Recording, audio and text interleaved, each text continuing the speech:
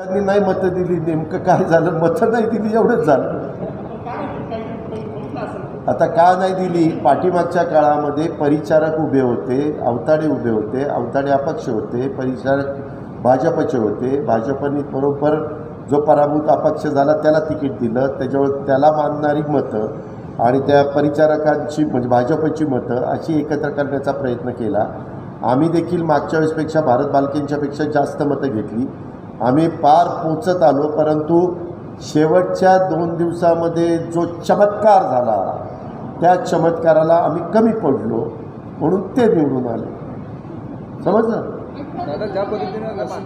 नाही नाही एक मिनिट. नाराजी वगैरे कुणाच्याबद्दल असलं तर मी स्पष्टपणे त्यांच्या तोंडावर मी तीस वर्ष सरकारमध्ये काम करतो प्रशासनामध्ये काही वर्ष आणि काही वर्ष विरोधी पक्ष म्हणून.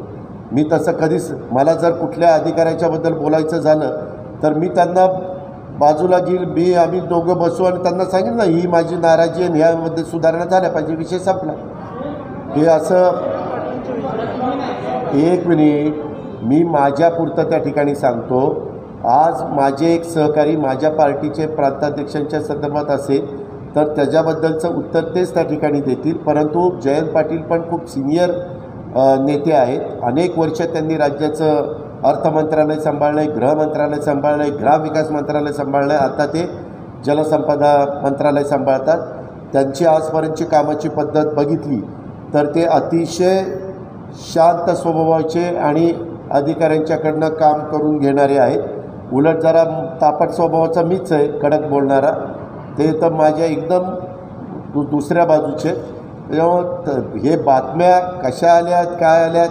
कधी कधी महत्त्वाच्या गोष्टीच्या पेक्षा जी गोष्ट महत्त्वाची नाही अशालाच आपण महत्त्व दे द्यायला लागतो.